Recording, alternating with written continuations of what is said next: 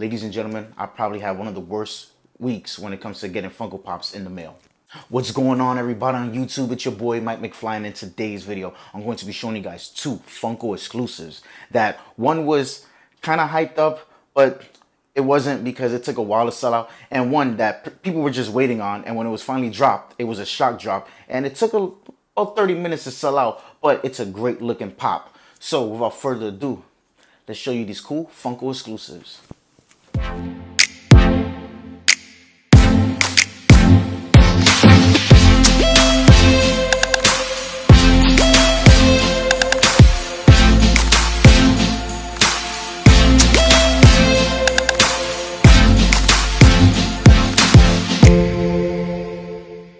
Well, hello, YouTube.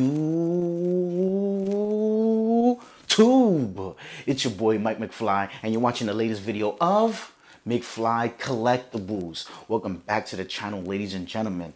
I had a crazy week when it comes to my Funko deliveries, you know, and yeah, I haven't done a video this past week because I was just more focused on if my packages were sent to the wrong location, if my packages were lost, if certain things didn't just get here in time.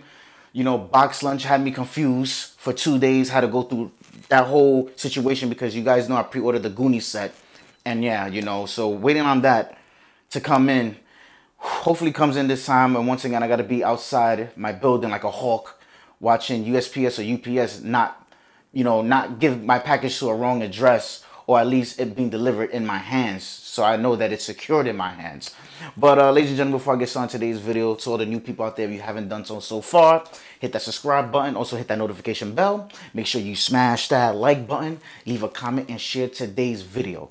So yes, Funko family collectors, you know, it's been a while since I did a video. To me, a week is a while. And yeah, just, you know, a little bit of information. So when it comes to the Goonie set, which I've seen some people, some stores on Hot Topic and Box are getting them. But I pre-ordered the set from Box Lunch and I got a tracking number. And when I got the tracking number, it said delivered on March 5th. Yeah, uh, that kind of almost gave me a heart attack. You know, my heart was going because I was just like, wait a minute, March 5th. I pre-ordered in January. The date said late April, early May. What's going on here? I contacted Box Lunch. First of all, I tried to send them an email. It said that it didn't go through, and then the next day I got an email saying we got your reference number about. So I I decided to call. When I called, spoke to someone, and I was on the phone actually waiting for like 30 minutes, but it finally went through and I told them the situation, gave them my order number, and they sent me the wrong tracking number. Oh boy. So that was about a day and a half of like, yo, what's going on? But uh and they what's funny is they're not sending my pops the Goonie set together. They're literally sending each pop by itself. So I'm getting Sloth, I'm getting Mikey, I'm getting just these guys in a separate like order. So it's like wow, so many tracking numbers. That's the first thing. And we got to go straight to the first pop I want to show you guys. And I ordered two Darth Vader Funko exclusives. Funny thing is, I ordered two separately, um, basically separately. And that was my mistake. I should have ordered both. But when I ordered one, I said, you know what, let me get one more. Because, you know, I seen that nobody is not really selling out. So I'm thinking like, well, it was a shock drop. People probably are not paying attention to their phone. So I got it, was able to get the second one. This one came in the mail perfectly fine. Now the funny thing about getting this one, yeah, I already opened this one. the funny thing about getting this one is it was easy, smooth. This pop, the, the first order did not come right away. When it didn't come right away, they said that it was lost, something like that, you know. It had like a red exclamation point on the tracking number. Next you know, when I updated, it said delivered. I'm like, okay, maybe the guy made a mistake, you know. Once again, my local post office, they they got a new guy there and he's been messing up. So when I went to go talk to the guy, the mailman, I said, listen, man, this package was delivered yesterday. What's going on? Oh, I don't know. It could be it could be somebody else. These guys don't care. I'm not gonna go crazy. I'm not gonna go bananas. So I contacted the local post office, filed a claim. I contacted Funko. Believe it or not, Funko said, all right, you know, you showed us proof. Okay, not a problem. We got to send you a new one or give you a refund. Now in my head, ain't this pop sold out? It's sold out within 30 minutes, right? I believe. Um, the next day I got a tracking number from Funko, new order number and tracking number, and they're sending me a new Darth Vader pop. So to me, it's making me think, are these Funko exclusives really selling out? Like, are they really truly sold out when it says sold out? Not sure. Maybe that's why they're restocking Pietro, which a lot of people are waiting on because remember it's sold out and now they're doing a restock. Who knows? But we're gonna take this Darth Vader out the box sorter, and ladies and gentlemen, a cool Star Wars pop that a lot of people, to me, are sleeping on, and that is Funko exclusive Darth Vader. This one is special, as you can see, the Funko exclusive. It is special because this pop, this concept is from where Darth Vader cut off Luke Skywalker's hand. As you can see, the box is in near mint condition. Honestly, box has like a little, I don't know, it's not a dent or anything. I don't know, it's probably a little bubbly on top. But yeah, box is pretty much near mint, near mint condition, nothing wrong on top. Here's the factory code bow stamped at the bottom. So yeah, ladies and gentlemen, the details on this pop. I love that he has the closed fist and the lightsaber in his right hand, the red lightsaber. A lot of Star Wars fans were happy with this pop and saying this might be one of the best Darth Vader pops because it is a iconic moment in the movie. He, he just, in the movie, he just cut off Luke Skywalker's hand. He's talking to him. You know, they could rule together the dark side, you know, the Empire. And, you know, that scene was amazing. It's one of the most known scenes in Star Wars. Even people that don't watch Star Wars know that scene. So I think this pop, when it comes to the details, it is cool, man. It is a bobblehead figure. I love it. I had to get it. Once again, I ordered two. So hopefully the replacement pop, not the box, the replacement pop will be coming in the mail. So yes, I will have to be basically in front of my building like a hawk waiting for this pop to show up because yeah, guys, um, it, it's coming to a point now when it comes to my local post office, especially when it comes to this bad boy. I believe it was stolen. That's my personal opinion, you know. So, you know, because Funko, once again, says Funko on the boxes. So maybe somebody saw that and said, you know what, that could be something in there. And probably somebody stole it. You know, they probably left it on the front of the door and somebody just grabbed it. So who knows? But I got it. The second one will be coming. So, ladies and gentlemen, a very cool Star Wars pop that to me some people are sleeping on. And that is Darth Vader from, once again, The Empire Strikes Back. This is a pretty cool looking pop if you ask me. All right, ladies and gentlemen. Now, the next Funko exclusive pop I'm going to be showing you guys is the Tony the Tiger Funko exclusive, the vintage Tony the Tiger.